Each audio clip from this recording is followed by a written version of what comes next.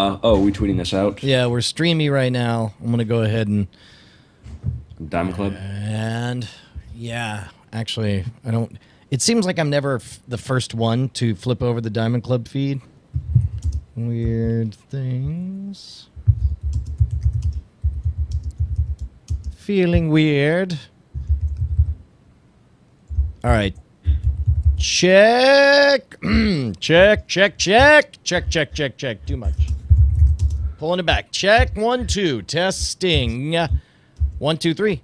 Check a doodle. All right, let me hear you. Hello, check. Check, check, to check, to check, check, check, to check, to check your head. All right. All right. So, yeah, theoretically, we look about the same. All right. Delete. I'm going to say your stream should be up. Dot dot dot. You guys seeing it? Question mark. Oh, there it is. Before I make an ASS of myself.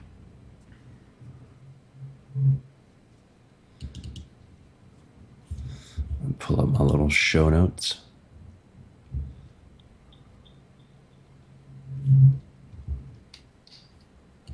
Awesome. All right. Uh, I don't know if anyone is able to move over the feed to the Diamond Club. Can anyone put us on DCTV? Question mark. Hey, Bulber. Shut your face, Justin. What's he saying? I don't know. I froze him. Oh, like, I'm in Wait. Maui. I'm he's in like, Maui. look at me. I'm on the other side of the world. I'm having mai tais and watching volcanoes. My name's Justin Robert Young. I had to get a bookshelf for all my pop-up books. Uh, oh, dude, do you have pop up fever now? Oh my god, That's I so have great. pop-up fever in the worst way. They're so good. No, I've got some pretty amazing ones. I got the pop-up book of sex. Oh, I feel like that when the stream's over, then the stream should begin. Yeah, uh, yeah. Other cool stuff too.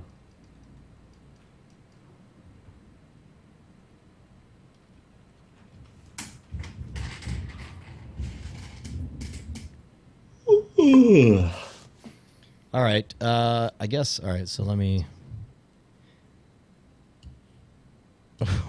Why is Should live? Wow. Uh, let's do. I guess. Uh, Hey guys, it's God Brian damn it. Brushwood. Welcome. Shut up. Uh, bu- bu- bu- Wow. So my You- process. I, I can tell time by your hair and Chad's hair. There's like two clocks. Yes. Yes. Uh, okay, so the way that I have to flip over the stream is I have to go to Gmail. I have to open up.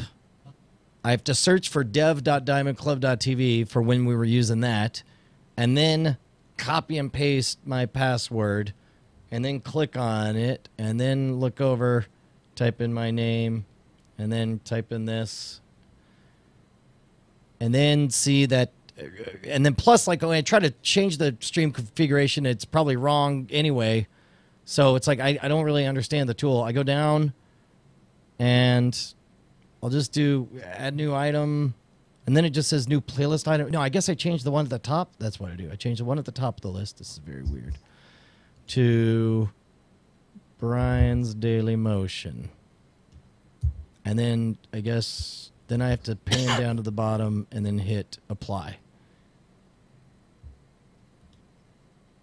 So theoretically, theoretically, hypothetically, symbolically, Diamond Club Toodly, We're live. we just might be live with, or not, or maybe we have nothing. maybe I just killed the stream and put nothing up in its stead. Hey, listen, man. I see a spinning thing. I see a pinwheel. I see. Oh, Ah. what the hell is this pocket shot? Oh.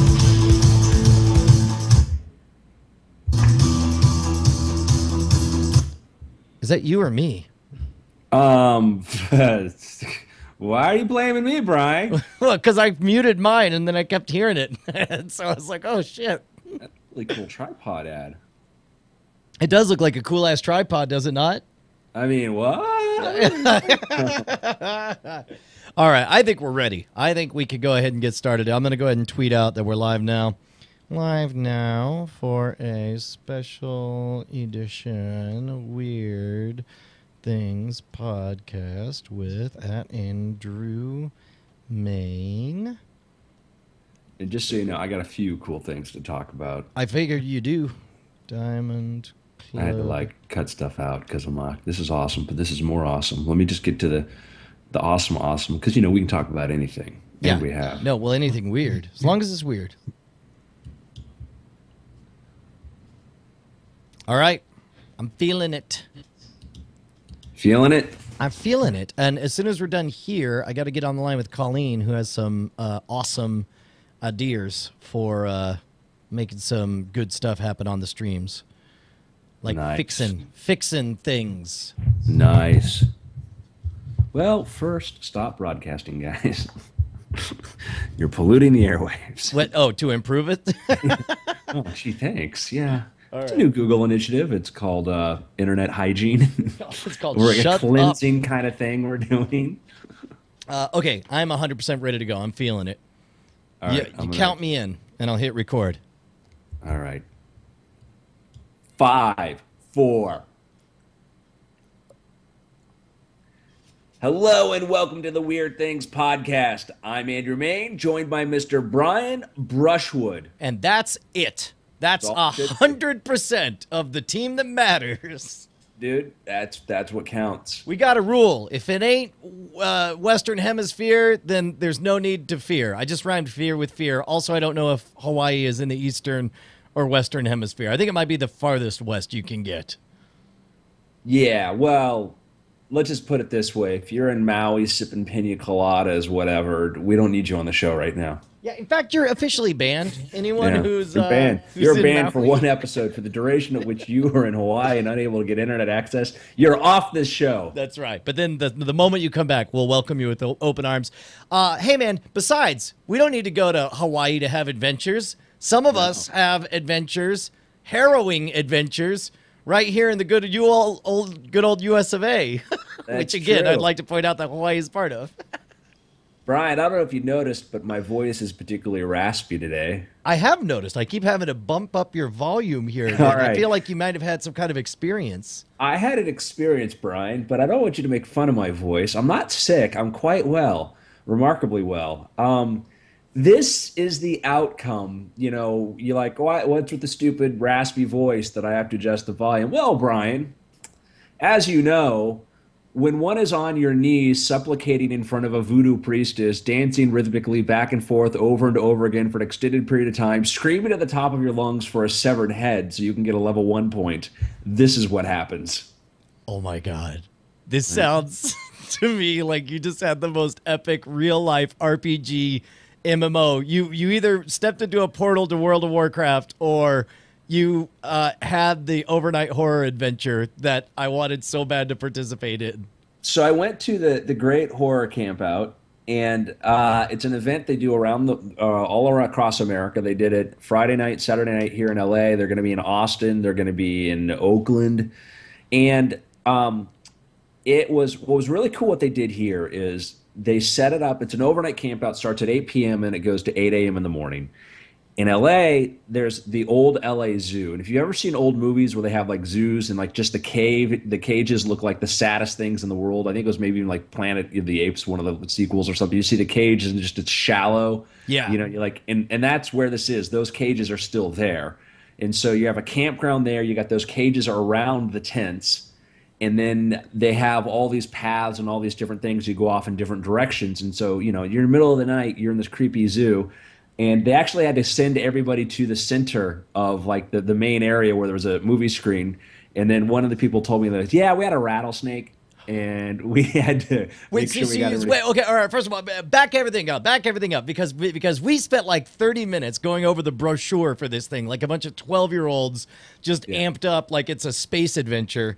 And uh, uh, there was all different things I was wondering, like uh, like what exactly are the rules? And uh, it, it was clear that there was some kind of progression and contests uh, and t- uh, talent events or talent shows. It was mentioned. Yeah. So here's like the thing. I, I guess I guess can uh, just start me off just just just give me a picture of of the first like 10 15 minutes of orientation because they have to th- there have to be a few things they like hammer on very first thing and that's what I'm most Yeah. curious about. So, what it is is you go in there and you sit in front of like they have a stage, and that's the main area, and then you go up this path to where the tents are and the different sections for the tents, and there's other paths to different directions in the woods where there's freaky Mothman and there's a labyrinth with chupacabra, etc. The guy who runs it, he's the uh, the the uh, head counselor. He's the guy that runs the whole thing. He's got some sort of freakish makeup on it. He's fantastic. He's just you know this presence that keeps driving the whole thing. He's like orange tents. You've got to report to you know uh, blood tug of war, and if you don't, you're blankety expletive, expletive, expletive. You know, I mean, it's just funny kind of stuff. You know, just the guy, his banter was really good. So they're They not all- selling like an alternate reality. This isn't like welcome to Camp Zombie Protection. You know, we've got to support the front lines. This is just like in a postmodernist way. It just is what it is of its own accord without explanation or backstory or Yeah, I mean, you're you're going to a summer camp that's a horror that's surrounded by horrific hill people and everything else that will torment you and whatever, and they're your counselors. And it's yeah, it's it's the thing I didn't appreciate as much was it's really a scavenger hunt. It's really a scavenger hunt, and I had a great time. I really enjoyed it. I brought a friend; she had a lot of fun. But it was such that the problem was like I'm not a scavenger hunt guy. I'm not a guy that likes to run out and chase down stuff. And one of the problems is, is like you go through, they have these corpses where you have to dig in there and grab things out of there. But there's several hundred people here, and by the time you get to them, they're picked clean. And they'll be like, "Oh, we'll replenish them throughout the night." And you go back there two or three times, they're picked clean. So This is I- uh this is like the real life uh, uh, MMO experience. You you Yeah. walk there, you walk up, and there's a bunch of people all hanging around. Like, what's going on? You're like, we're waiting for the spawn. You know, like like Oh, yeah. wait for for new loot to appear. Oh yeah, everybody's in. Yeah, and they would do it in kind of in weird ways. The way they do that, get everybody to one location, they would do that, and so they tried to make that as invisible as they could. You know, um, people who ran it. I mean, the people, the actors, and all that, really good, always in character, really committed, and it was a lot. And there's a lot of really cool, fun zones and stuff. My thing was just I didn't realize how much it was just. If you're not doing the scavenger hunt, don't go. You know, There, it's there really ain't a lot kind to of do. a, so so you got to be in it to play the game. And the problem with scavenger hunt is like there's like one master level prize, and people people who went before they knew where to go. You know, they knew they knew how the game is played, and so you're kind of like, oh, what do we do now? And then you go there and like, oh, we're all out. And you're like, oh, um, but that being said, it'd be fun if you have a group of people. It really, really, you know, it's fun. It just it was just a neat experience. Um, the food sucked because it was vegan food, so.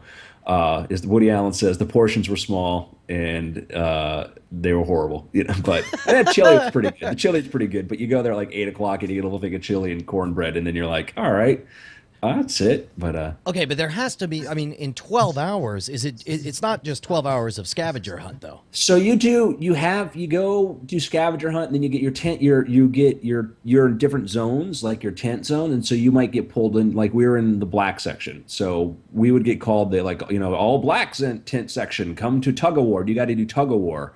And then you get a bracelet, and if you get that, and again, the bracelet only plays into if you go for some master level thing. And that was my problem. There's like no other minor achievements. You, Yeah, so you, you- get, you- you get one thing, you get your T-shirt, and then if you want to collect everything, which is really hard, and you got to you got to do all things you're not supposed to, run, elbow people out of the way, and do all that, you know, to get the the Hellmaster. And that th- there is, uh, I would imagine, because I played, you know, similar games and situations where it's like I felt, I felt at some level just a, a an aspect of defeat. Like, what's the point? A futility to Yes, it. Like, if I can't that- get this, then why am I bothering? because we were like my friend Melanie and I were like, well, let's just have fun, and then you know it's kind of like you go do this because it's like, well, if you could get like if there were intermediate kind of things you could get that were kind of cool, that would be neat, and maybe there. And it's I felt like it wasn't quite as explained to me as it could have been, and the map was not very helpful, and we almost missed entire sections there. Again, you know, it's they they put overall put on an amazing thing, but you just kind of going like, man, how would this be better? How would How, this be? Better? how many how many people were there? Do you think total? Uh, maybe two or three hundred. Okay. Yeah. So two or But, yeah. three hundred, and and the, the the focus was the scavenger hunt, but there's also talk about like grabbing people out of tents and stuff. Did any of that Yeah, happen? so they do it, you know, the middle of the night, like after like you're at two thirty, like all right, time for bed, and then you're in the middle of the night, like four thirty in the morning. You know, hillbillies come will come and try and drag you out of your tent. and then uh, I mean, could you kick him away and say, "No, sir, I would rather sleep"? Yeah, you could try. You're not allowed to touch them, but you can. Like I had, they came, they ripped open our tent and they tried grabbing stuff, and I just pulled the stuff back, and then they left. But what's funny is I knew you knew when something was about to happen because they were taping this with a quadcopter, and you'd hear the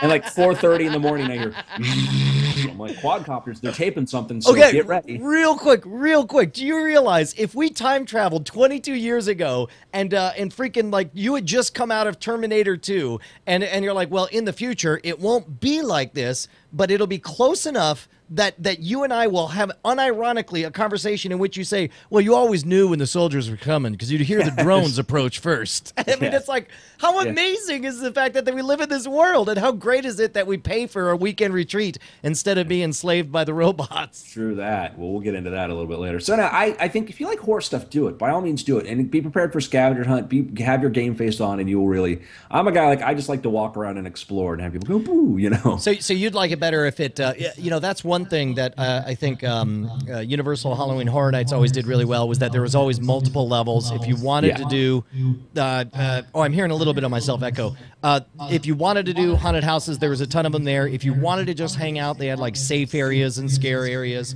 and uh, and of course there was the rides and stuff. This Yeah, they- this one they- was very more had like one I mean, main they, track. They, they have like a very like, hey, sit around and watch movies and do arts and crafts sort of track. Yeah. But it's like it's sort of thing like there could be a kind of an intermediary, you know. And again, they evolve this thing over every year. A lot of thought goes into this. Again, I don't mean I'm, I'm just you know, my own little not being a scavenger hunt guy.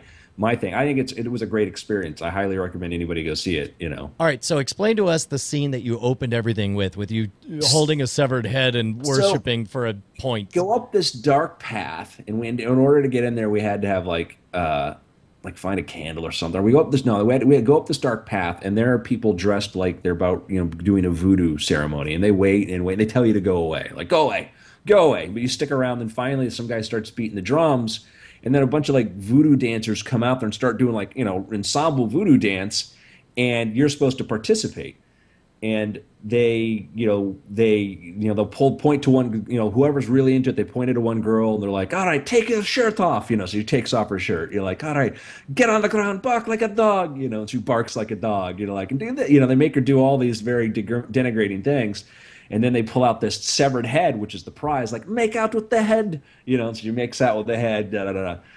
oh And my they go god! like- they, they pointed to me and they're like, "You step forward," and a couple other guys, and then I'm like, "All right, I'm I'm if I'm gonna if I'm this far, I'm gonna." I, We were I was like the first person there with my friend, and I'm like, "I'm gonna I'm gonna go all the way." Go all so in.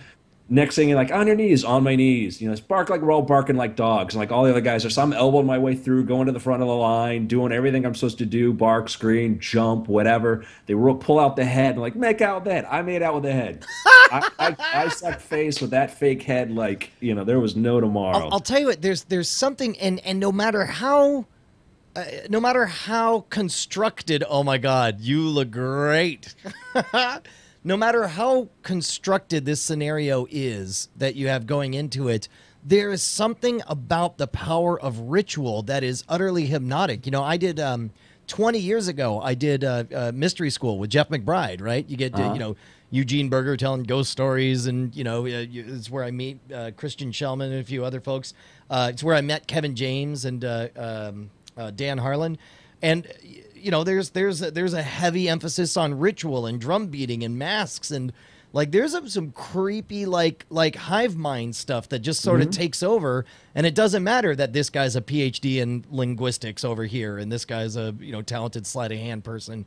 Something takes over. And i totally see how in, especially in tribal times that kind of ecstatic experience in a place where you know beer might be in short supply would be the number one mind altering experience of choice Yeah, I mean there's that, and then also like the competitive like things I don't like scavenger hunts because once I get competitive, I get vicious. Yeah. and I don't like that because like once I'm like committed to that, I'm like I'm gonna win this. I'm gonna elbow people out of the way. I'm gonna push through there. I'm gonna do whatever I can, and I got the head. I won, you know, and it was just, and I'm like I don't want to be. I, I won't have as much fun if I'm doing that though.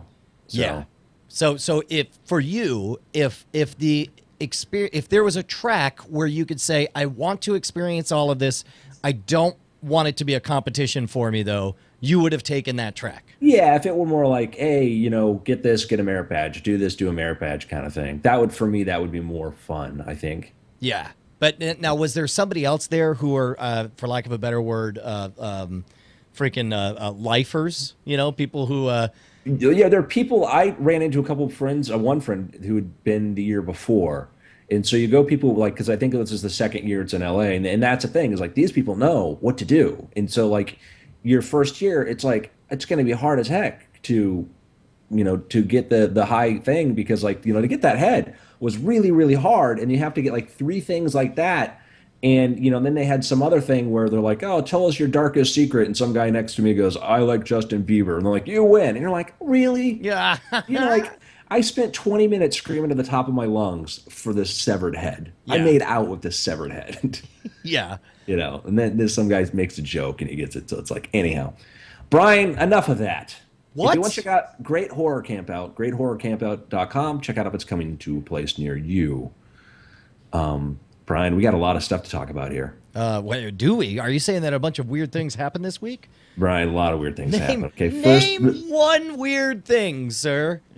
Well, cool thing coming up. Uh, I never, I don't know how to pronounce, but remember the Antikythera, Antikythera, the ancient computer they found in the Roman shipwreck that had the Greek symbols on it. They believe was made for calculating the orbits of you know the planets and lunar events and possibly tides. I, I actually don't remember this, but I'm looking at it. Antikythera mechanism on Wikipedia. Uh, th- wow. this is the thing right here, right? Yeah, so they found this in a shipwreck around like 1900. Sponge divers or whatever found it, and it was this rusted thing. And for the longest time, nobody realized what it was till they X-rayed and they looked inside, and there were gears and all sorts of other mechanical devices.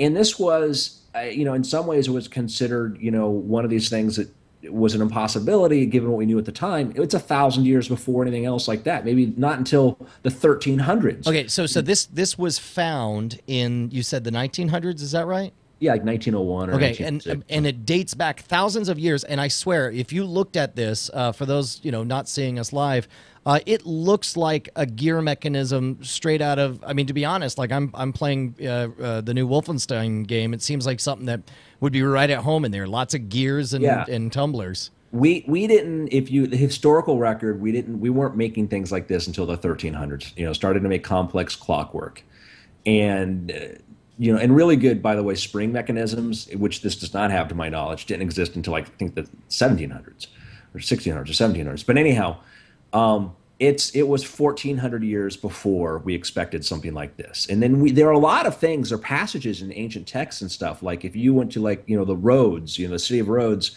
you would hear about they said there were mechanical statues that would move at every street corner. And there's a lot of accounts of these mechanical things and i believe that these things were very much real and you had people craftsmen who would make these things for kings or rich people. But the problem was is that they would break down after the guy who made it was done and you just you know they're, they're not around anymore because they'd break down you pull them out of the palace wherever it was you go for the parts and then these things are exceedingly rare to begin with. But there are a lot of accounts of really interesting devices. But anyhow this mechanism is fan is fascinating and we're just we've been able to make what we think are reconstructions of it and it and it shows that the greeks had a much more command of mechanical devices than we realized What's interesting about this is they found what they think may have been one or two extra parts, which suggests that there might be another mechanism. And so now there's an expedition using one of these hard shell diving suits to go back down to the ship to go look for another one of these. Man, that's like straight out of an episode of GI Joe, where it's like you know, it's like like the first season ends,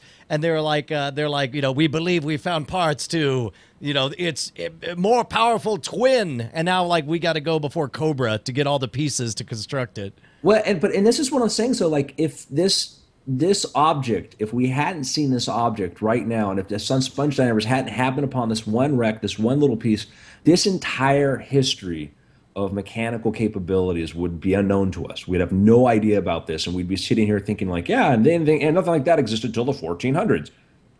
You know, Who and knows that's what else is down there?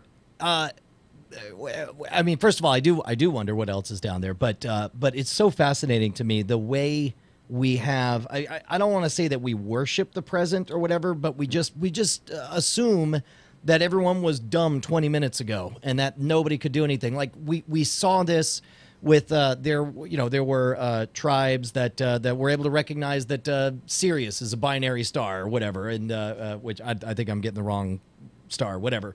Uh, and they're like, well, clearly they couldn't have known because of the they they they didn't have any optics and they wouldn't have any trade. And then it's only later they're like, well, no, they had a robust trade and there were you know Westerners coming down in the 1600s who would be able to explain this stuff and maps and so on. And then it's like, uh, okay, well, uh, them pyramids are real big and they were dumb back then, so they couldn't have made the pyramids. Must have been space aliens. And then and now we're starting to see it with stuff just 60 years ago where it's like yeah, yeah. What? We didn't have computers. Computers were dumb back then. We couldn't go to the moon. When, when meanwhile, the fundamentals of gears and mechanics, the fundamentals of Newtonian physics, the fundamentals of, you know, of of, of astronomy, uh, haven't changed. And and those people had a lot. The smart people back in the day had a lot of time on their hands to do this stuff. So I don't I don't understand what the appeal is, what the draw is that cause us all to marvel and believe that it's not possible for our grandparents to have done anything scientifically impressive. Yeah, I, I, I'll, oh, I'll blow your mind with something really cool. I, right. I didn't tell you about this. All right, and this was sort of a. I apologize because this is a little bit of a. Uh, uh, For those of you guys just tuning in, Andrew is doing So I've been doing summoning some- chant. I've been doing some research, Brian, on for another project I'm writing, and this was this is sort of really just peripherally related to it, not at all. But I found this doing a little Google search. Do you know the difference between a dirigible and a blimp? Uh, I believe, forgive me if I'm wrong here, I believe that a dirigible or a zeppelin has hard sides and a blimp. Uh, like there's a scaffolding, a framework in a dirigible, but but a blimp is just an inflated balloon. Yes, sir. Like dirigible, they're rigid. They're rigid. You know, the Yeah. rigid part of it. So, you know, the 1920s and 30s are interesting because I've been doing a lot of research on like airships, you know, things like that, and you know, the size of these things. I think we've mentioned before. You know, we had like the USS Akron, which carried like 90 people, could have carry 250,000 pounds of cargo, was a thousand feet long, and this was in our Navy. We had actual airships in our Navy. I found out about another airship. I had no idea, didn't even know this was possible. We had a thing called the ZMC 2. ZMC 2, okay? And This is when you say we, you're talking about uh, the United States. United States Navy was a, they contract to have this thing built. The ZMC was built in 1929. It was scrapped in 1941, and by scrapped we mean this. It was a solid metal airship. Uh, uh, Well, I mean, it was the inside was filled with you know helium brine. well, of But- course, yeah. No, it wasn't. It wasn't a floating lead ingot. It was. but uh, all right, I'm looking at it. I'm looking at a picture of it here. Uh, it looks just like the freaking Goodyear blimp. but it's it's or it looks like Fat Man or Little Boy or a giant bomb because it's matte. That's a completely metal exterior, and it's uh, made of this uh, this aluminum alloy. And the if you look at construction photos of this thing when they're building it, it's amazing because you see this thing is basically like they have half of it that that top you know the front half of it's on its the nose cones pointing up. There you go. If you scroll down there, you might see some photos of this thing. So this was a solid metal thing. Now, okay. now, uh, okay. So this does that mean that there was no scaffolding on the inside? no, there was a or- scaffolding the same as an airplane has. Okay. Okay. Okay. But it was surrounded. God, that- that's astonishing. Do they weld it shut to keep it They used, airtight? they riveted they riveted the thing shut. Are you kidding me? Okay, this thing is riveted shut, and in fact, what was fascinating about it is that they said that it had a higher, uh, it was able to hold its helium much longer than other A, forms be- of. a better seal than a balloon. Yep. Riveted Because- shut. the- yep. Uh, okay, so so is the thinking is the motivation like I guess they just number one obviously if it held its helium longer then riveting certainly worked. Uh, number two, I, I would guess that like could, could it withstand being shot or anything?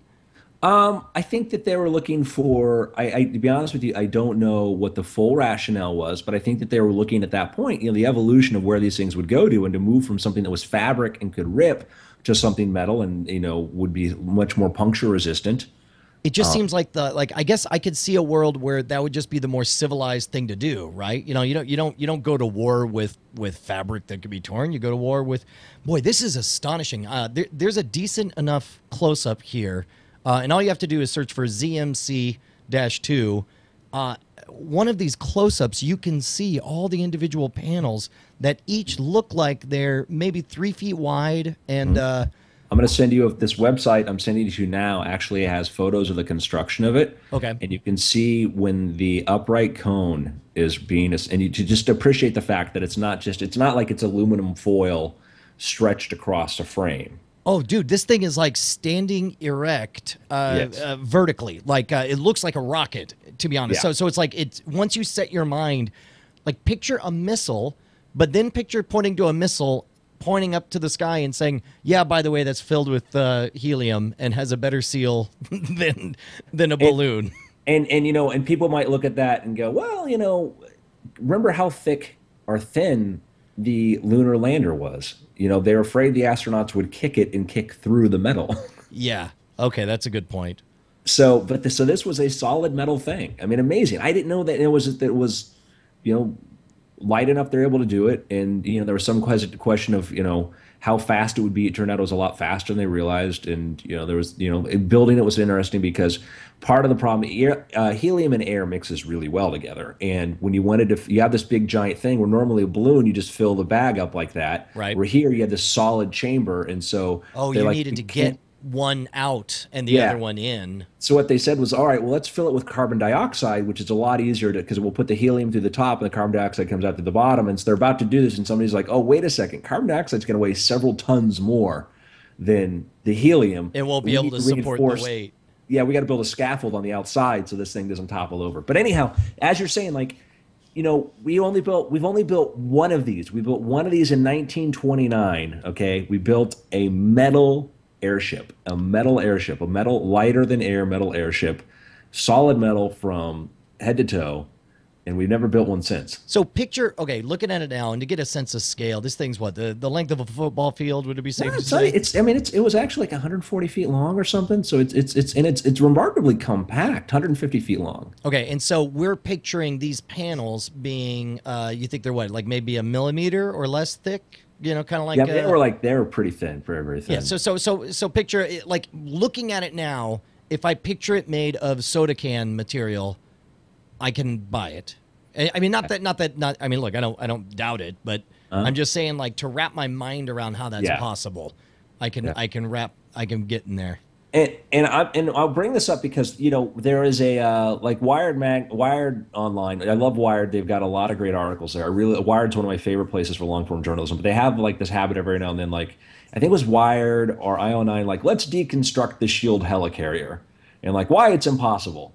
And they're like, well, assuming that it's built like a battleship. Well, no. Yeah. Why are you assuming that? Yeah. And and I was frustrated to read this because it's like, why don't you start with our actual history of lighter than airships employed in the military, like our dirigibles we used in the 1920s that could carry quarter million pounds and had 90 people on board, and airplanes could land, could hook up to and detach from.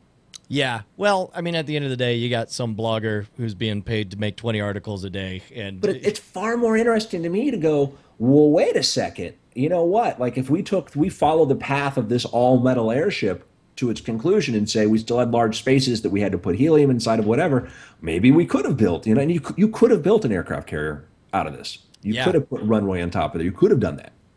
yes, you could have done all those. I don't know that you'd be able to support, you know, like Harrier jets on it in when it's in the sea. Well, remember that the it- the the and as I mentioned before, the the USS Akron, which we used, it actually had planes hook up, it could carry a quarter million pounds worth of cargo. Wow. The problem is like you, but yeah, there's stability issues. It's you know they're sitting targets. Wait. Oh my God. Yeah. So wait, you you are talking about another dirigible, a quarter million pounds, in the freaking sky. yeah. That's amazing. This there was a point when you could go into the Navy, and you could serve aboard a flying aircraft carrier. That's pretty dope. Yeah. An aircraft carrier that, or yeah, I guess an aircraft carrying aircraft. Now, I was just in New York and I went on the USS Intrepid, which is the uh, the aircraft carrier up there that served in World War II. That's like a thousand feet long. The USS Akron was 785 feet long. Really? And- like and it almost had, as long. had the same, roughly the same width across. So this is the thing, the size of an aircraft carrier. That's so awesome.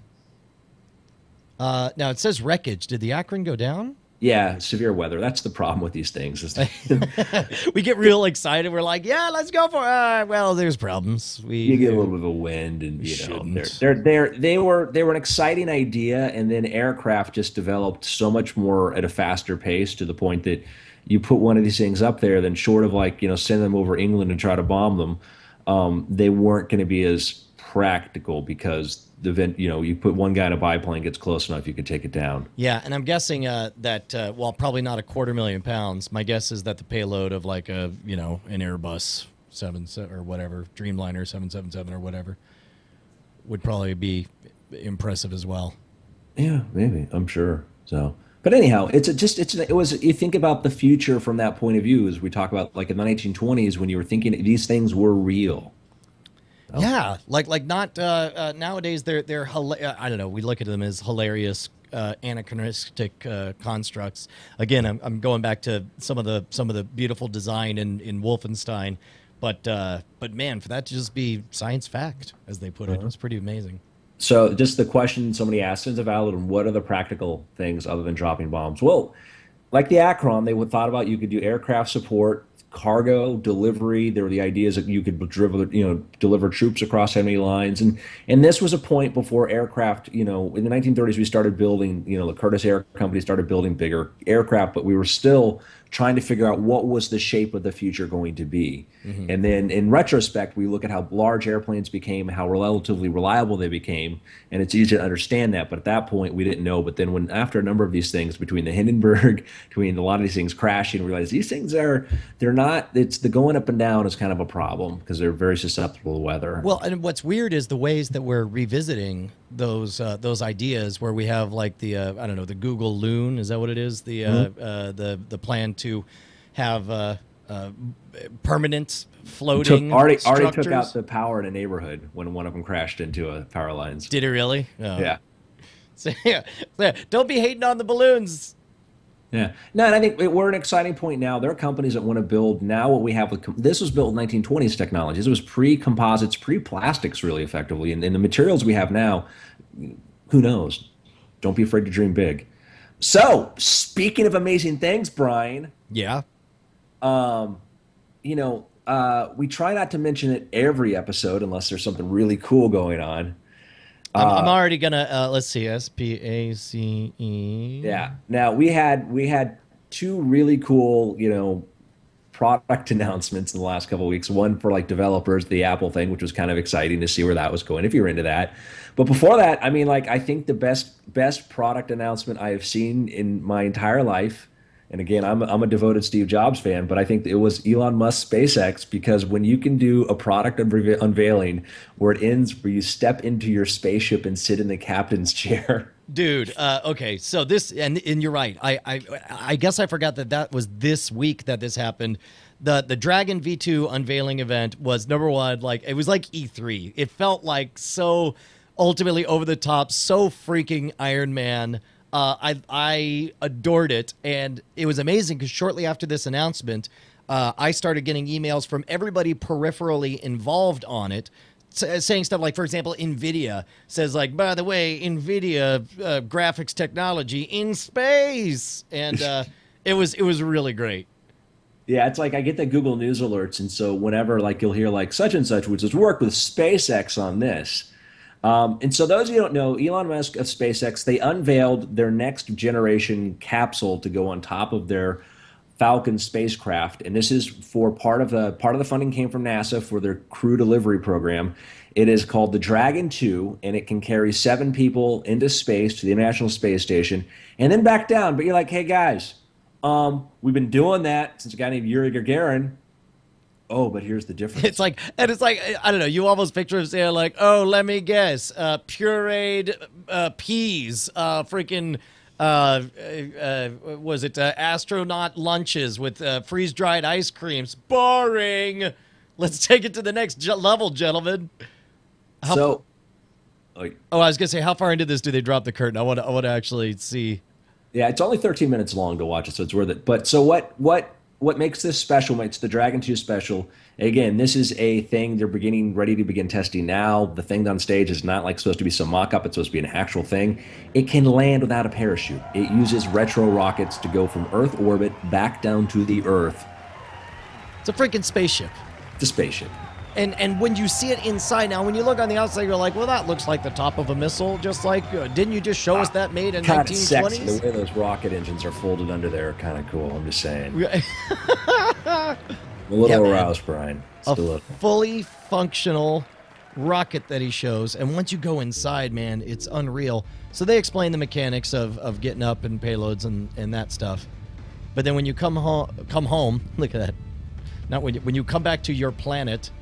Yeah. Uh, And by the way, that and one of the things that they've said about this is it can land on any hard surface in the solar system. God, that's so great. This this whole this whole like like this is it's re- it's happening. It's really happening. Yeah. So you're we're seeing a mock-up right now. A little, Yeah. uh, you know, it's computer generated, sure, but uh, but basically, when it comes down, it has that brief moment of, uh, you know, the shuttlecock kind of uh, everything getting white hot because fire comes at you when you're in space, and then it starts firing the rockets, and basically just skids its way slower and slower. I can't believe that there's enough fuel to slow it all the way down inside that little that little. It just doesn't seem like there should be enough fuel to slow that thing. Uh, yeah, well, that was the debate, you know, and that's what uh, SpaceX has been spending the last decade trying to figure out. And what's really cool is when you watch this video, the foreground is framed because suspended from the ceiling, ceiling is the first Dragon capsule to go up and come back down. And what's significant about that right now is, other than, to my knowledge, other than when we use the uh, the the Soviet hardware, all the other companies that have stuff, they're not, they don't come back down. They, you know, they incinerate back when they go into the Earth's atmosphere because short of the shuttle and uh, Well, and that's the uh, and, and even then it's it's it's debatable. It's it's up for argument just how reusable uh, the shuttle well, I would say reusable. I mean, You I mean, know. no, I don't say reusable. right. I'm saying no. Everything else burns up, doesn't come back down. Right, right. When we're doing re- resupply, all the things we send resupply right now to the ISS, other than other than uh, the the Russian, you know, the Soviet era, but the Russian designed capsules. Um, all the other private ones, all the other countries, there's they they deliver their cargo, then they burn up in the atmosphere. They don't come back down. And so the dragon, the dragon, the first dragon was able to do that, and now this dragon. And I guess able- I guess we're going in stages here too, where it's like uh, this obviously of everything you want to be able to deliver and bring back, hopefully in reusable format. The the crew module would be would be the biggest one, but but the fact that this is all part of a long game and they fully intend to have all three stages just have a happy jaunt back to Earth, and all of a sudden we're just refueling. Uh, dude, how'd you like to be those guys? Your job Yeah. is to whip out the the the uh, stairs for Elon Musk to step into his spaceship. And, and I'll tell you what's interesting too is you look at this thing. On one hand, you can forget the sense of scale, but then you watch, you know, as Musk walks up the stairs to his spaceship to climb inside. Look at this thing. This thing is amazing, and, and and there's so much free space. That's what I don't understand. And and part of it, I'm sure, is that it's a very wide angle lens.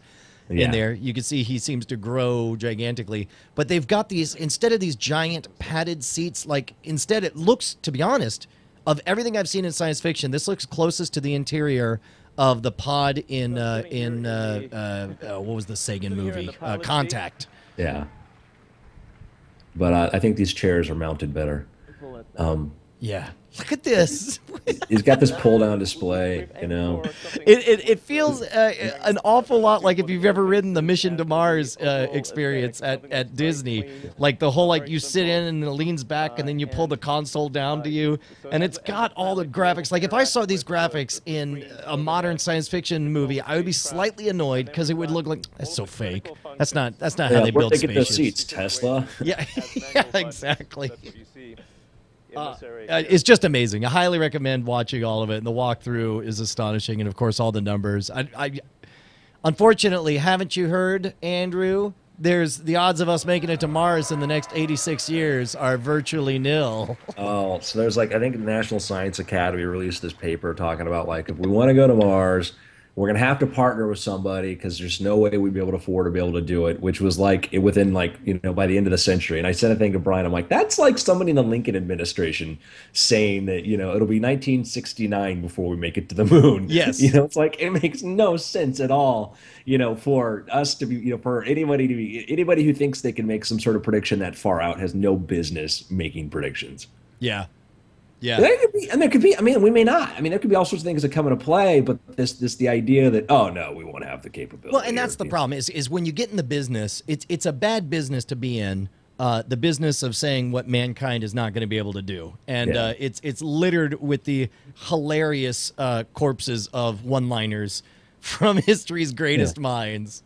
and and you know i'm i'm you know one of the things i bristle at and I, that's when i when i went into the thing about the whole we could not have faked the moon landing in 1969 video because you know to my opinion you know the arguments that he made for why we couldn't have were specious like oh we didn't have film canisters that were this big and like andy warhol was using 33 minute film canisters but he didn't mention that you know and there's Right. things like that were like it was just like yeah, we went to the moon. Absolutely went to the moon, but let's not make bogus art and let's not say we couldn't have done this thing or we can't do this thing because there are smarter But people let's out not there. That, essentially make the exact same mistake that people that moon deniers are doing, which is basically Exactly. which is basically what, what we were talking about just two segments ago, which was uh, oh back then people be dumb they couldn't have done it, you know, and uh, it's a bad argument no matter which side that uh, that you make it on. yeah, I mean, you you look at the available evidence and you can say if a thing, you know, it's hard to you can't prove a negative essentially, um, and you have to look at the evidence. But to say what can't be done or won't be done is just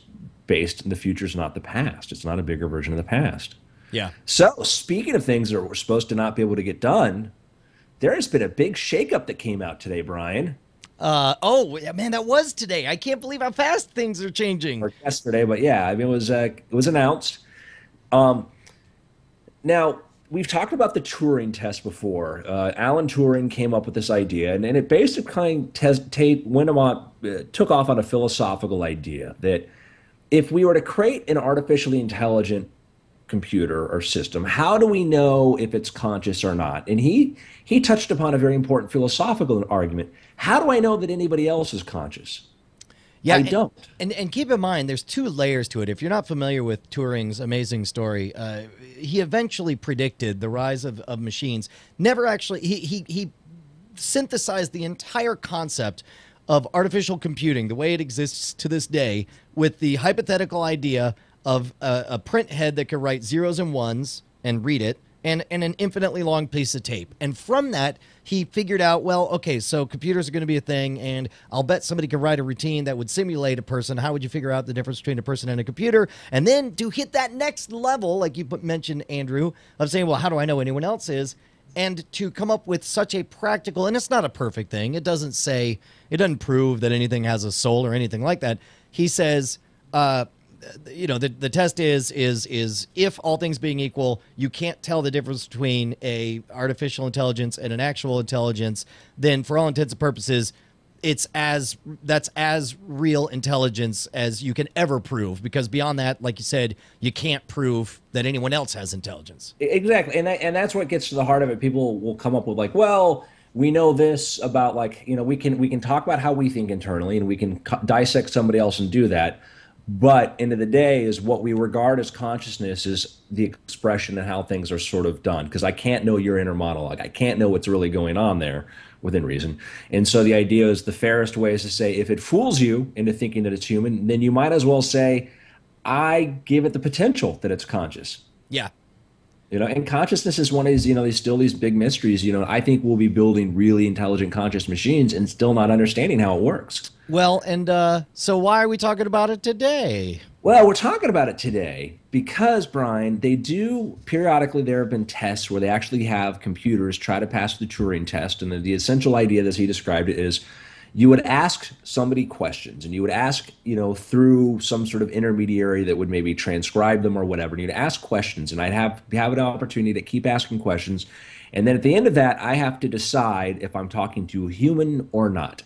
And one of the ways that it was described, if you would have, let's say, more than 30% of the people were convinced that you were human, then effectively it passed the Turing test. It fooled 30% of people into thinking that this was human. Well, and in a perfect Turing test, it would be a completely unrestricted voice based conversation with some either, you know, through a screen looking at what you think is the face of another person or whatever. You could decide just how perfect perfect is for it to be. And historically, they've when they've had these competitions, they've had to do things like limit the um, the the scope of the conversation. We're like, well, you need to just talk about rocketry. That's the only thing you're allowed to talk about. And uh, and you know there were tricks people could do to make things feel more human. For example, insult you randomly, or or say they're not interested in that, or challenge you.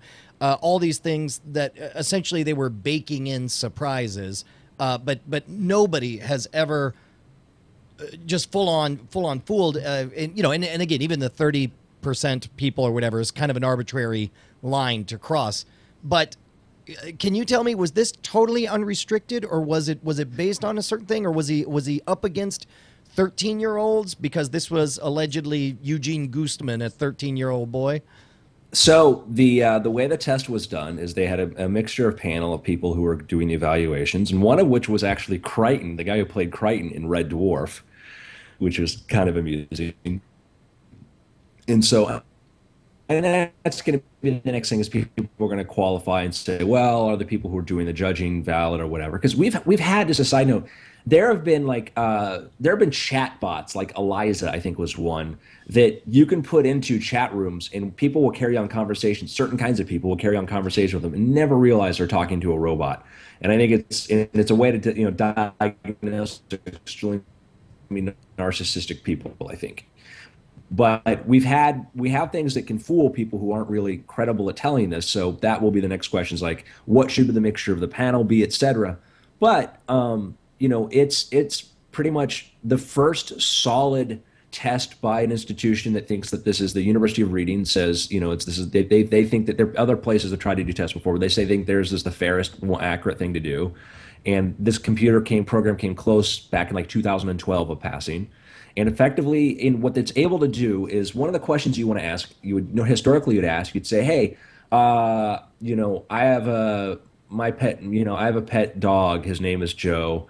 Um, you know, uh, can you name what pets I may have?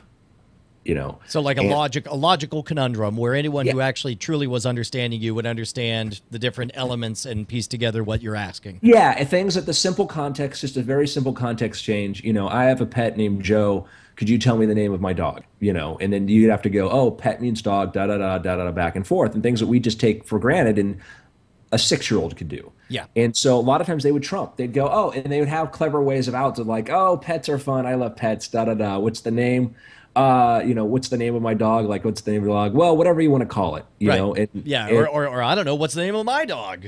And so you can make you can very easily make programs like that that give these pat flip response like Eliza would do and just turn it back like, no, tell me about you. You know, that's one of the things that works. And you could pass, you know, you could certain people be fall for it. They wouldn't realize there being there's an evasion there. Here, you know, one of the questions was like, uh, you know, my car is red. You know, what kind of car, what color would you, you know, is the car in my driveway? Oh, it's red. You know, he would answer, he'd tell you these things, these very simple things connecting those statements. So here's what's astonishing to me. This quote here, uh, Kevin Warwick says that uh, that a computer that can think and act like a person will be an asset to battling cybercrime. Quote, online real time communication of this type can influence an individual human in such a way that they are fooled into believing something is true when it, in fact, it is not. Understand, like a big way that they battle cybercrime is by having undercover agents. Uh, be uh, hackers and hang out with hackers in IRC chat rooms and uh, uh, you know to talk about and participate in you know whatever different shenanigans that they're up to. Uh, and there are things that hacking groups use to test whether or not people are cops, you know, to uh, that work sometimes and, and, and don't work. But it really does change the balance of power when there is no resource limitation. You have unlimited mind uh, mind power of, of, of an army of 13 year olds who can all talk and gather information and remember well, this guy from this IP address at this point said his was so and so and that he was connected to so and so. Like this ability to co- collect massive amounts of data that could not ever have been just mass processed by a computer before. This kind of parsing and and hands-on undercover work basically is an extraordinary thought. You know, yeah, and it's it's. I think that we're going to see both sides of that. I, you know, you give and you know, you look at the complexity now of certain kinds of uh, scams too, and you have like the phone things too. Like, hey, let me speak to Brian. Hey, this is Brian. Hey, Brian, I want to tell you about a new offer, and you don't know if it's. They have ones where they have one operator sending responses to like 15 people at a time, and so it's certainly going to make you know the scammers are going to use this too, and people trying to sell you stuff, and you're gonna you're gonna have you know you're gonna be a lot easier to make very personalized scam emails. Oh my so god! think- Would you realize like already there are, and uh, we've talked about this on the show. I, I already get a number of of, of robot. I, I, call, I guess I say they're robots, but they're not really robots. I pick up the phone and and it sounds like a telemarketer saying like, "Hi, I'm so and so. I wanted to tell you about whatever." And then you'll and then you'll ask like, "Wait, are you a robot?" And they'll and they'll always the, it's the same thing. They go, "Ha do I really sound that bad?" And you're like, "Oh no, I guess you sound okay." And then they'll and then they'll say uh, they'll they'll say, "Well, anyway, I just needed to tell you about whatever." This is a case where they've actually created a soundboard, and rather than pay someone fifteen dollars to get hung up upon, which is a very miserable thing for telemarketers to do, they realized they could pay someone, you know, five dollars an hour on the other side of the planet. Doesn't matter that they have an accent; they'll sound perfectly Western. They'll stick to the script because they can only click on the different trees that go on there. And uh, and I've said this before, but uh, you know, I'll I'll uh, you know immediately shortcut to be like, "Hey, are you a robot?" And they're like, "Haha, do I really sound that bad?" I'm like, "Great, that's awesome. I bet you're not a robot. Just do me a favor, say the word blue." And then they're like, they're like, "Oh, do I sound that bad?" And they're like, "B L U E." Just say that, and we can have a great conversation. And then they, you know, they hang up. But like, those days are numbered, man. It- what two years you're going to be able to throw together a rudimentary algorithm that listens to me and, and has a conversation? Yeah, and I mean, what who knows what's in the lab uh, at Google? Let's say, you know, Ray Kurzweil, who by the way had made a bet with Mitch Kapor, I think was one of the founders of Lotus Notes, about uh, a twenty thousand dollar bet. Kapor said, you know, no computer would pass the Turing test by twenty twenty nine. Wow, a wee bit ahead of schedule. There, well, there'll be a debate about this because now it's gonna- it gets interesting because you'll have these things where it'll be like, yeah, but what we meant was, yeah, but we meant this, and it's because like the computer posed as like a twelve year old Ukrainian boy, and so you know already you're you're you're in your head making allowances for somebody, but I make a lot of allowances for people having you know free will that I'm not sure they do. Yeah, no, we could get that into that whole debate. If you believe in causality, then you know that free will becomes an illusion. There's a great article in Wired I recommend everybody check out if you're interested in the subject, though, because the area in which computers are still not better at us is the game of Go. Oh wow, You know, Go is a very, on the surface, a very simple game. You have black little stones and white stones, and the goal is to encircle your opponents. And it gets extremely complex. It's actually computationally far more complex than chess is. Chess, chess has, in the opening moves, a finite number of moves of a certain amount. Go has an even greater number than that. It gets complex, and your grandmasters or your your, your masters of, of Go talk about you reach a certain level, then after that, and you have what I would describe it as sort of a gestalt sense of the board, where it's really hard for you to describe what it is. And computers can't get past that. The masters of Go consistently beat the best chess programs, our best computing programs that are trying to do play the game of Go, which You know, it's weird Yeah. too because uh, uh, we, we keep moving the fence back, right? So it's like uh, when I was in high school, there were computers that could convincingly simula- simulate. Like if I were to play a game of Street Fighter 2, and in that little universe, with that timing and in that 90 second bout with the punches, kicks, and jabs and movements or whatever, uh, I would say that there's a number of computer run artificial intelligence that could make me believe that a human was playing. You know that uh, that you know, and, and part of it would be, I mean, whatever, good enough, right? And and you could say like, well, you know, in a perfect situation, it would learn and adjust and et cetera, et cetera. And you're right. And now we're at that point. Same thing with uh, like chess. You know, chess can't, you know, chess bot can't think. They're not smart. And then you know, then Deep Blue happens. Now we're in a world where, you know, where where the natural language capability of of IBM's Watson is able to parse natural language questions. Uh, and I, I, I mean, it just feels like this is going to keep on moving forever, right? I mean, at, at, at some point, will we stop caring? Will we really have that her moment? I you know I think we're I think we're very close to the her moment in a sense. Like I think that I think that given like what happened with this, you know, this Turing test, I think that you're we're very much at that point where you're going to have you could design because given how Eliza Fools has been fooling people for over a decade, certain kinds of people. now it's going to get that much more complicated, and you know, imagine imagine something that follows Google News and you start a conversation with like, oh, I saw this is interesting. Like, oh yeah, well I saw this thing come up over here where Senator so and so said that. Like, oh, I don't know much about Senator so and so, and they might know like, oh, well Andrew loves salacious gossip well, there was the thing where he did this, da da da da da. And I'm not getting a Wikipedia thing. Sure, I'm getting a well, conversational. And you're even thing. getting the nuanced conversation of you not you. It wouldn't just say here, look at this article. It would say the tease of like, well, you heard about the so and so, and then based yeah. on your response, you're like, no, was it? And then I can even see it saying like, hang on, let me find the article and wait, count off, you know, uh, however many hundreds of milliseconds and before it pastes it in there and they're like check out that third paragraph where it says and whatever it, and if it knows what i know or, or knows what you know it does the same thing when i have a conversation with you. I give short form to things you already know and they're like oh you know what, let me expand on that or you do the same thing for me. Did you hear about this? And that's that's a very interesting sort of way to do that. So i think that it's fascinating how where they go. And here's the thing is i had this it was sort of interesting is that I, I, you know, people like feel like ah, they're going to replace us. Like some jobs are going to, if you're telemarketing, whatever, you're constantly at war with technology. You know, and a lot of information jobs are constantly at war. But the future is information jobs and how to manage these tools. One of the things that was kind of a significant thing that happened, you know, 20 years ago was the, the introduction of object-oriented computer log- programming was a big change in the sense that it used to be almost you even have it up to that point people like i'm going to code in zeros and ones and sort of the assembler language and all that. But then you said you know what? I can have a chunk of code that does a bunch of things. I don't need to know how it draws a circle or does this whatever. I can just call it and make it happen.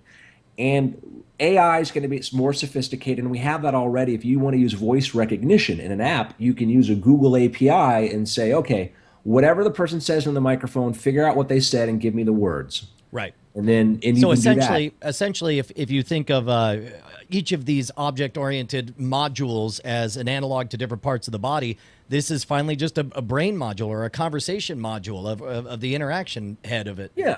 You know i watched an interview with uh, matthew reinhart who's designed a lot of the pop-up books i love and he talks about how people often ask him and, and this was sort of intuitive to me. I thought was interesting people say what program do you use to make those and and I thought like you know that's that's that's kind of tantamount to you know 500 years ago somebody shows me some amazing piece of sculpture. I'm like well what kind of chisel did you use? What did you do? What what what was the extension? What was the, the intermediary between you and your art to help create this? Now his answer is he doesn't use one but the point is is we're so used to Photoshop we're so used to these things that which has very intelligent behaviors in there by the way to do these things. You know you can you can now use Photoshop to say I need to copy this surface over here and a computer behind the scenes does that these things will be embedded into the tools and we'll certainly be aware of the things we have conversations with but the other ways these things assist us will continue to be invisible in a sense. Well and there's if you want to see where this is going and this is we're gonna this is apparently the hooray for wired hour because the one of the best articles and i think we mentioned it before is the better than human why robots will and must take our jobs.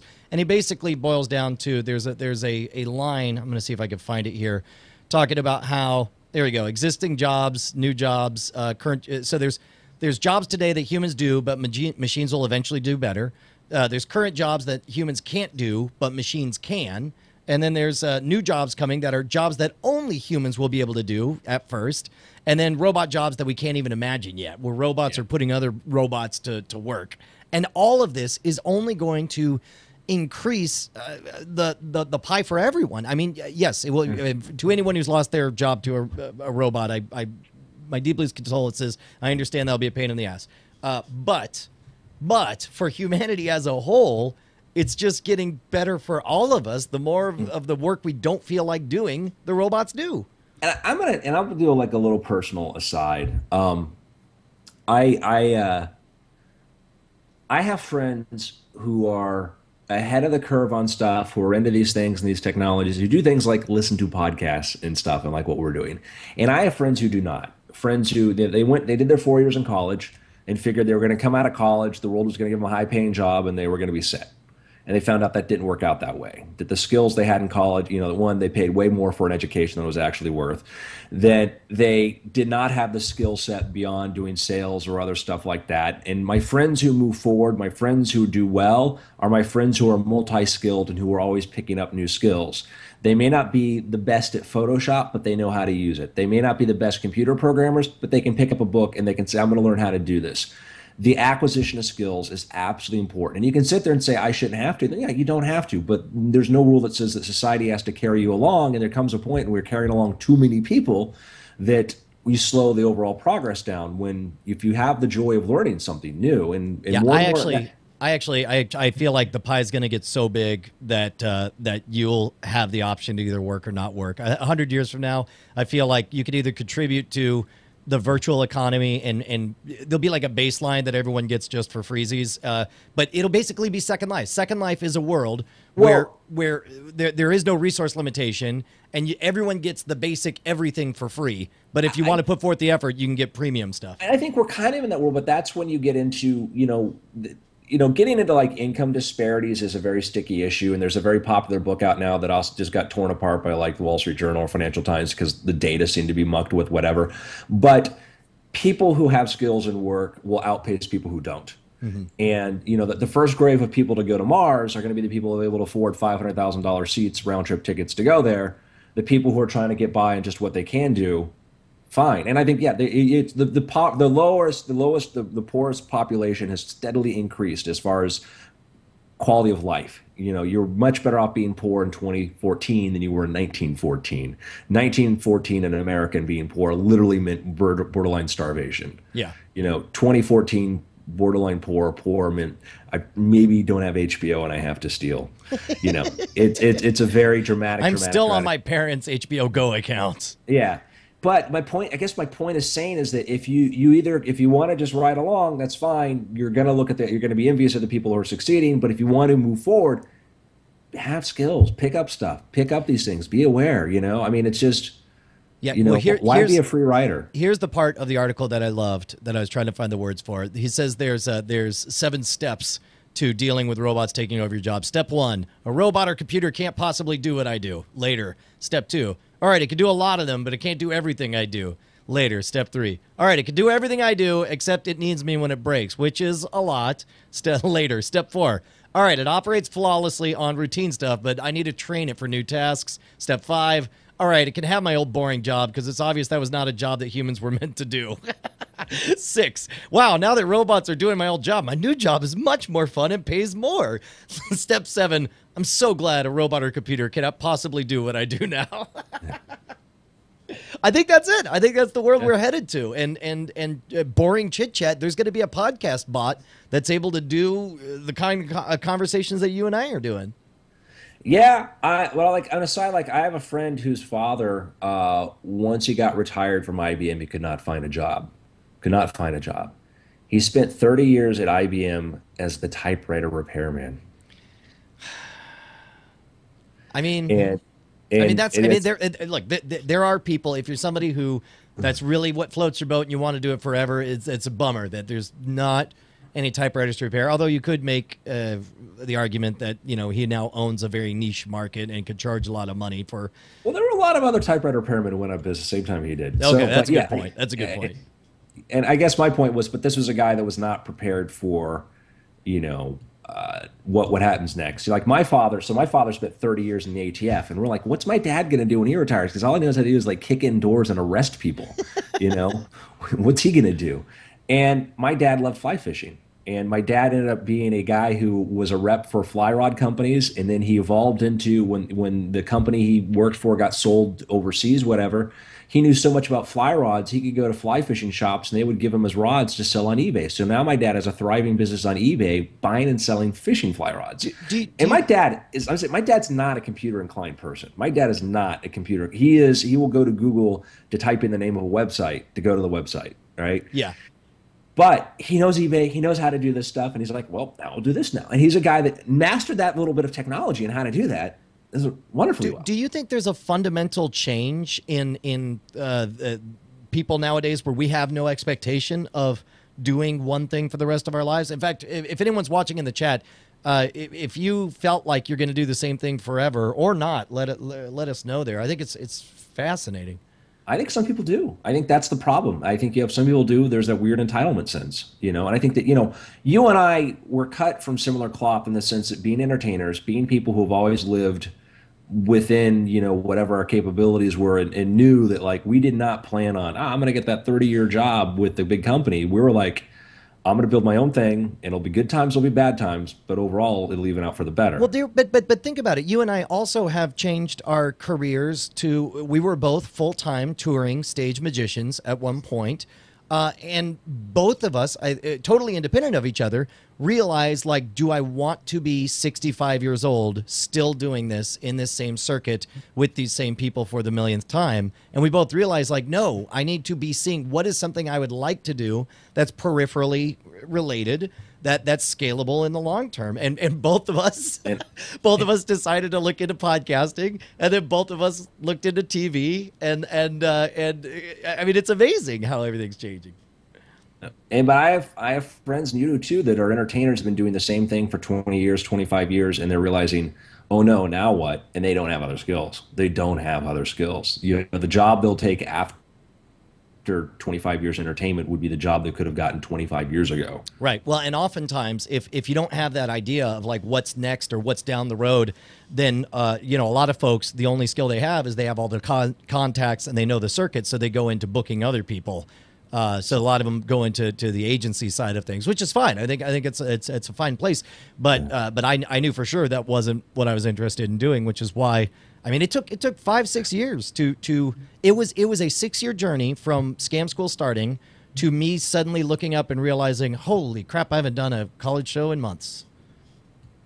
Yep, and I I just I like you know it's like as entertainers we're like ah we provide a very special form of entertainment. Grant in motion pictures, everything else has been steadily eroding us, and then oh yeah, Tupac, Michael Jackson, they're dead. Doesn't matter, you know we can bring him back.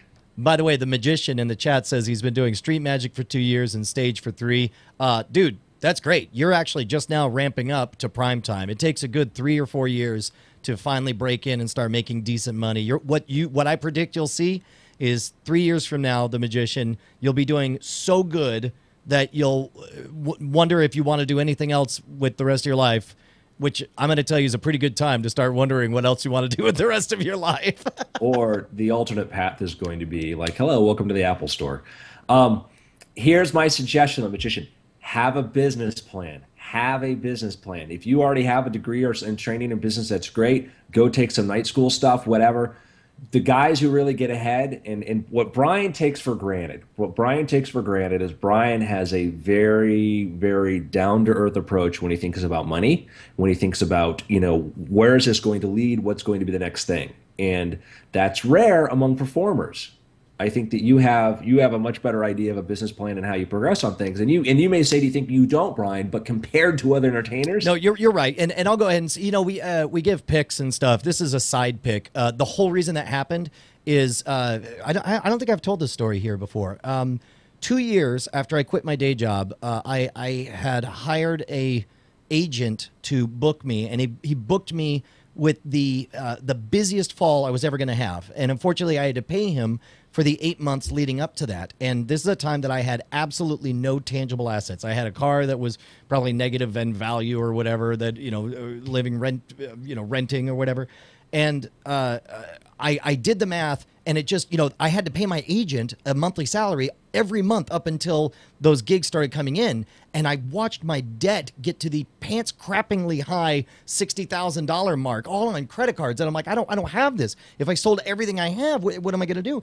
And I was like, all right, let's, let's look at the numbers. I, actually, I think it was closer to $50,000. Uh, oh. I said, let's look at the numbers. let's look at the, because I want to be accurate here.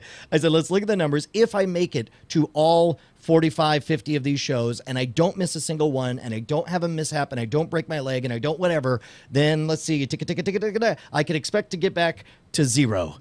And that was so utterly heartbreaking that I was going to have my best year by the numbers of earning, and the best it would do is is get me back to zero. And and so Bonnie suggested she's like, well, you need to learn how to, uh, you know, how to uh, how to deal with money. So buy some financial books. So I bought a bunch, and the one that stuck out was a book written in the early 1900s uh, called uh, The Richest Man in Babylon. That is a set of parables set in ancient Babylon. And what's great about it is because it takes place in ancient Babylon, they don't talk about dollars, they don't talk about money, they, they talk about gold coins. And this guy is the best charioteer in the whole land, but he can't understand why he could barely make his, his rent. And his friend is the best bard in the land, but he could barely make his rent. Meanwhile, their friend, who in school was dumber and slower and lazier than they were, is the richest man in Babylon, and they say, "Well, explain to us how." And uh, it, it, I highly recommend it. It, it was life changing to me because the core principle of it was a part of everything you earn is yours to keep. And the response to that was, "Well, that's dumb. I thought everything I earned was mine to keep." And they're like, "Well, it's the end of the month. How how much do you have?" He's like, "Well, I had to give some for the rent. I had to give some for the, the fuel and for uh, for school and all this stuff." And it's like, exactly. Part of what you earn is yours to keep. And the metaphor that stuck with me was the opening lesson. He said, What would happen if every morning you put 10 eggs in a basket and every evening you took nine eggs out? And uh, the response was like, Well, by the end of the month, you'd be overflowing with eggs. And, uh, and the guy's like, Exactly. And that to me was the core fundamental. So, uh, to, to, to get back to your point, Andrew, uh, it's been it's been 14 years now I, I know, yeah, I guess 14 years that I've been a, a very fastidious saver, uh, which has which has made it possible to make those shifts. And I'll, I'll, tell you that that that book and the core idea there is a very important one, and that's one that when you start looking at like wealth gaps and, and that, and they go like, oh, the richest, you know, is getting rich at this rate, while the other part isn't, and it, it comes down to this: if you're building debt, or if you're investing, the investor will always outpace the person building debt and you know, we tend to think about investing meaning large amounts of money, but it's not. It's not. It can be even when I was, you know, when you know things were really, really rough for me. I would, I would still put twenty bucks away every month. I would always make that habit of doing that, and then when things were better, I would do more, whatever, just to have that habit of doing that because, you know, I was fortunate in you know investing some things and you know companies like Apple early on and other places like that that was really able to you know make my life a little bit smoother than a lot of other people who have shiftless sort of careers like I have. But the end of the day is, I guess, is that that habit and it gets into short-term gratification but like you know every one of my friends i've ever had that conversation like yeah if i had the money we're sitting in a bar and they have their second beer you know is there this? And it's like it's there's the little well, things. and, and that's the thing is is when you write a plan you break it down into pieces small enough that you end up with an individual piece so small you can do it right now you know, like like something right this minute. Like let's say part of your plan is to be, uh, you know, a, famous whatever, and, and you realize that part of that plan is that you need to have written a book, and then uh, well, in order to write that book, you need to uh, uh brainstorm whatever, and it eventually gets to the point where you finally decide, well, here's something I could do right now. Let me open up Word and type in 25 different subjects that I'd like to write a book on. And and the difference is, is a lot of people don't don't ever take that that one action step or whatever. I, and and you know, I become much more efficient when I figured out how to maximize all of my time to do things I want to do. Like I'm writing, like I have notebooks all around me for book ideas. I have on my phone, I type in little ideas for stuff. I have like six books ahead mapped out for what I want to do. And you know, I'm still I'm still involved in TV. Tons of magic tricks played out, working on another television show project with my friends, and always trying to do that stuff. And so I maybe spend more amount of my time working on work than maybe I should, but I don't know how less I should. well, look, I mean, uh, regardless, I mean, we don't want to change this into to, to the weird success podcast, but but I'll tell you what, in the interest of of saving time on picks, that'll be my pick is the richest man in Babylon. All right, good pick. My pick will be uh I played this game and um, I, I, went to New York. I went for Book Expo America. I had a great time. That's why I was able to do the podcast. Um, and I had, a, I had, a wonderful time there. It was just just neat, neat, neat experience. But whenever I go on a trip, that's my excuse to play games. I don't play games when I'm at home. I rarely do. I have like, I'll have like maybe if I have friends over, I might play something to be social. But like, I just try to make my things I do for fun social. But when I go on a trip, I'm like, listen, I'm on an airplane. I can do whatever I want. And um, I played the game Monument Valley. I don't know Monument Valley. What is that one? So Monument Valley is an iOS game and it's on Android. It's by a gaming company called ustwo. And that's another thing I want to point out, by the way, is that uh, you know if you're there's so many awesome tools and things out there for people who who are willing to learn how to use skills and things like that. I love the fact that some of the top video games now are two and three man development teams or woman teams, you know, and Monument Valley is basically a video game like for our handheld game. It's kind of like an MC Escher thing came to life. Okay. And so you have to figure out how to navigate through this landscape. And as Brian's looking at this video right now, you see this girl, you know, she's walking up steps, but then the steps sometimes go back down, and then you have to avoid crow people. It's very simple kind of gameplay, but it's based upon these sort of optical illusions, and that you may not see a path until you look at it from a different direction. Oh, this is great. This, uh, you know what this reminds me of is there's a uh, experimental project called uh, I want to say Scale that um, uh, instead of like a gravity gun, you would walk up close to an object so it looked really big to you, and then you would click on it, and then uh, and it would fuse that object into being really big, so you could move it and set it somewhere else. Uh, this this seems like very much in the same vein. Yeah, and you know, one great example I heard somebody says is, you know, like every, you know, every frame could be a poster, and it's absolutely true. You can actually take snapshots from the game, and so I'm looking at, uh, you know, the team for the team that made this was one, two, three, four, five, six, seven, like eight, eight people. You know, an eight-person team spent 10 months to create. I think is one of them and you take a game like Threes, which is even more simpler, which is just captivating. Yeah, by the way, uh, I've gotten on my high horse now. Every time someone mentions 2048, I'm like, please consider uh, playing uh, Threes, the game that 2048 is a shameless ripoff of. Yeah, that's funny because like yeah, I remember there was like the talk about ah 2048 is wonderful and visual, and someone's like, hey, listen, you got to go look at threes. That's the original. And that that whole yeah, like threes is like I've had I've taken that off. I allowed myself to play through. I mean, literally, I'm like a guy with a heroin addiction. I'm like, all right, I'm gonna go out of town. I can do a little threes when I'm there, but Just I as long home, as it's there, man. That's just my New York thing. I don't, I, come don't play home, threes in. LA. I'm playing no more threes, and so like I got I I got to check to see if I deleted threes when I got home. Um, I did. I deleted threes when I got back. I absolutely did, uh, and so that's the thing. And Monument Valley, I like because it's it's there's a beginning, middle, and end. There's a storyline to it. It is. Uh, I just loved it. I loved it. Like uh, again, I'm I'm a All right, this is more- one. This is one that I know that I'll love and that my daughter will love. Uh, Mm-hmm. So I'm gonna I'm gonna pick it up right away. Uh, I, I do want to say real quick. I've been playing on the live streams and I'm almost done with it. But uh, the uh, Wolfenstein, the New Order, is so it's got this uncanny valley. I'm unfairly hard on this game because the story is fantastic, the cinematics are great, the set pieces are unfathomably amazing to watch. Uh, it it starts off like every other um, uh, World War II uh, game, only it's a bit over the top in that you see giant mechs walking and so on. Uh, but then, but then you take shrapnel in your head. You're you're blown out for 15 years as you sit there and watch the world flash in front of you like a stop motion photography. And then finally, you come to in 1960s, and uh, and the Nazis have taken over everything. And then, boom, opening credits. Right.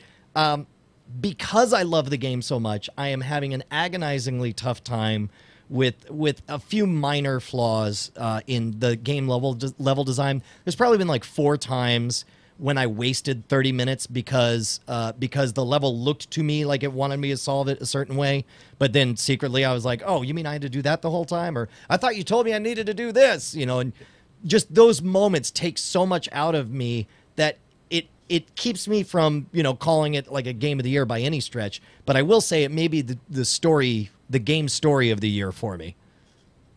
Wow, wow. I don't have quite the breadth of knowledge of games you do, sir. That's okay. Just say I believe you. I believe you. I believe you. You are a person that can control these demons far better than I can. or at least channel them. Yeah, learn channel, to, li- learn to live stream them. Everybody, watch me play video games. yeah, man. Uh, so that's good. And uh, and I guess Everybody, next watch me write. you just got to do snarky commentary about your own writing as it happens. Brian, yeah, man. it's been weird. That was good. That was tight. That was tight-ish. I I ended with you saying tight-ish. All right, save copy as. Hey, uh, do we need to send a note to uh, Cheeto to make sure that this gets posted? Since usually Justin handles all that. Um, yeah. All right. What are we calling this? Let's call this. Uh, let me see. What do we talk about here? Let me pull up my list. Um, Did you see any ghost uh, monkeys? Did I see what? Some uh, any monkeys on your ghost trip at the zoo?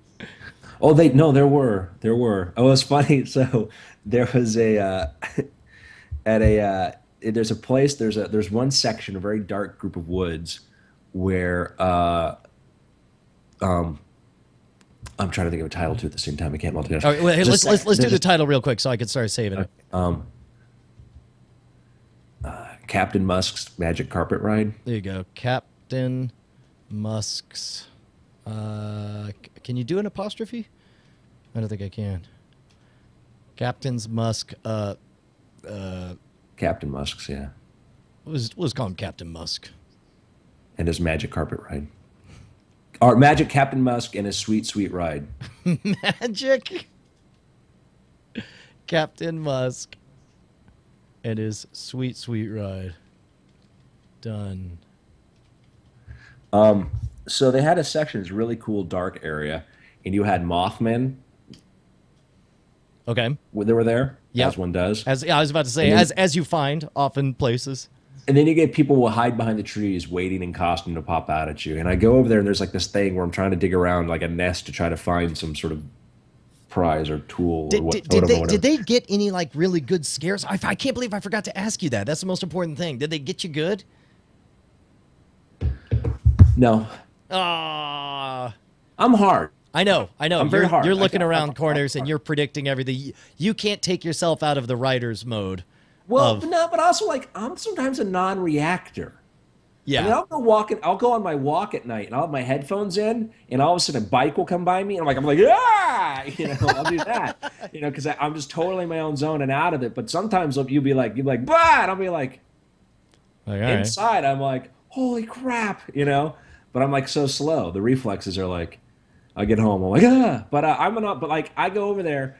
And I go like I'm leaning down this nest, and I look over there. There's this big, huge tree, and I see this massive foot sticking out from behind it, and I start cracking up. I'm like, nobody realized this is the problem with Bigfoot. He's got two goddamn big feet for him to hide. Oh, that's And hilarious. Wait to Melanie, go look at that. She's like, well, I go look, and you see these feet sticking out there. Then you get the Bigfoot's going to like, He's like, please don't uh, let me scare you. yeah. I'm like, sorry, dude, but the feet were sticking out. I just started cracking up because I just see this giant foot. I'm like, I wonder what's behind there. That's hilarious.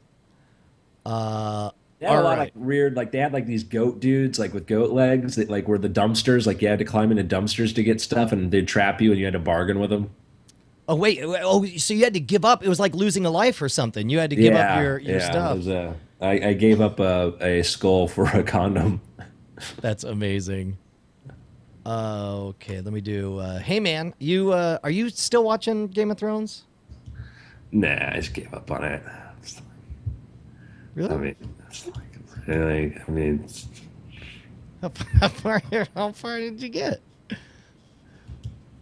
Are you kidding me? Well, because because Give up on Game of Thrones? Well, but the thing is, I know you did give up on the books, and and I didn't know because I knew that how excited you were about the show, but I also know you've given up on stuff later, so I didn't know if this was the case. because the show's so goddamn awesome. Well, yeah, no, I I agree with you. That's uh, It's like, justified and hey, 100 percent hey, right. Hey, Brian, do you want to read Star Wars Seven, the the working shooting script, or do you want to watch the goddamn movie? oh no, I want to watch the movie. Want to watch the movie? Yeah, and like I, I, I mean, I told you, I stopped, I stopped listening to the audiobooks when I heard cat, when I heard rumors they were making it into a TV show, and I heard Peter Dinklage was attached. Oh really? Just based on Yeah, that, and you I were in out. my That's agent's office. I'm my agent's office, and there are two writers. They're over there talking about it. Bruce is like, "Oh yeah, yeah, we got Dinklage attached to this," and I'm like, and I'm like with Mary, and she said, "I'm like, oh my, god, shut up, I gotta pretend to listen to. That's amazing. And I'm like, listen to them talk about Game of Thrones be going. I'm like, they're making it into a movie. It's our TV show. And so I'm like, holy crap. And I'm like, Dinklage is Tyrion. I'm like, oh my God. And I'm like, I'm waiting for this. Yeah. Well, uh, well, good, good, good, good. Because uh, I just want to make sure we're on the same page. Dude, this season has been, for my Killing opinion, it, killing it. I, there's not been, there's been seasons like there's never been a bad episodes of Game of Thrones. There's been episodes of Game of Thrones where you're like, man, those other ones were great. This was okay. Right. They weren't to that standard, but this is, they've been, yeah, they've just been, they've been killing it. And like, here's my advantage. Like, can we get into spoiler territory here? Yeah. All right. Let's. Uh, uh, here, I'm gonna start uploading this right now. So, okay. Uh, officially, We're going to talk some spoilers. You don't have to worry about book spoilers because uh, Andrew will kill me if I tell him any book spoilers. Do you know any Yeah. of the book spoilers? No. Okay, I don't good. I'll. I'll be careful then. I'm very pure about that. So, so here's the thing. Here's the advantage of not knowing what's coming. Okay, Brian. Yeah. So last season, I'm watching this wedding, right? Oh, so you had you had the uh, the the the perfect okay. experience. I'm watching the wedding, and then I'm like, man, this music. It's a little weird music. It's getting a little tense. I'm like, I wonder if somebody's gonna say something mean. Oh, that's amazing! And like, and like, I'm a guy that likes to. and Again, I'm a guy that I can't help but think where things are going on this show. I don't know where things are going, and then all of a sudden, I'm like, oh no, oh no, oh no. You know, I'm like, I'm like, I'm like, you know, I'm like, all right. And so, you know, this last episode, I'm like. Um, I'm like, wow, Martell is like, hey, he's you're like, oh, I'm a little worried. Is he gonna do it? I'm like, Martell's doing it. He's killing it. I'm like, he's doing a little bit of a victory dance there. oh, yeah. He's, he's, he's kind of dancing the end zone a little bit too much there. I'm, I'm a little uncomfortable by this. And then it's like, oh shit. Yeah. Well, and plus also even having read the book and and having a pretty good idea of what the outcome was going to be, uh, they have a knack for for for just hitting a level of of graphic uh, uh, punchiness that was like I mean I knew what was coming and it still like wa- was just like "Dah!" I couldn't believe it. It was amazing. And I'm like, I'm like, when his people like, I'm in like constant denial on stuff. So like, when his eyes are getting crushed in, I'm like, he could, he can pull through. He can pull through. Then the thumbs go in. Like, I don't think he's gonna pull through at this point. And then it's, you're like, oh, You're like, yeah, it's not it's not it's not Oh, coming. It's not coming. dead.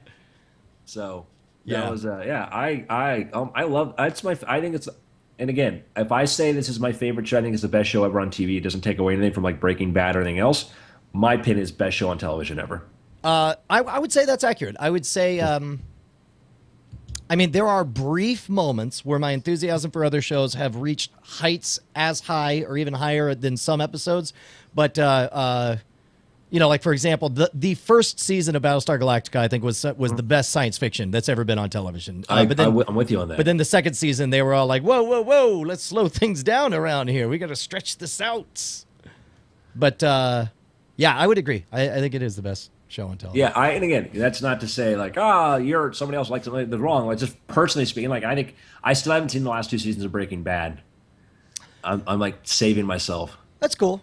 I mean, they're good. They're good.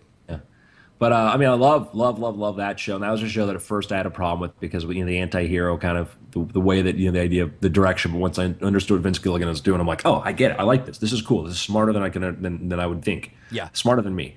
Um, but yeah, like Game of Thrones, like yeah, I'm like, here's the thing that sucks. So I feel sorry for every show that they put on after, like when Game of Thrones does its run for its season, because then it's like, I'm sorry, not Game of Thrones, don't care. Yeah. And, and poor Lindelof, you know, is doing the leftovers, and it's like, and and I I hate kind of magical realism with a passion. So there's already when you say wait, the leftovers, what what is that? that's the new HBO series coming on about like two percent of the population vanishes under what may be rapture-like events, but some people were good, some people were bad, and they don't know what it is. So that's the next. That's the Got next it. That's right. That's right. That's right. Yeah. And and and and it takes a lot. Like I I was, you know, I'm like ah, True Detective, really? And then like, and I will argue like True Detective is the most game changing thing in television ever. It's way good. Way way good. So, uh, Uh, but All right. Well, look, I'm, I'm going to shut down the feed because I got to set up some stuff. Uh, also, got to watch Game of Thrones. Also, have to record uh, uh, domain.com ad um, and some other stuff too. Uh, all right. Look, man, good talk. Good times. Uh, yeah. the only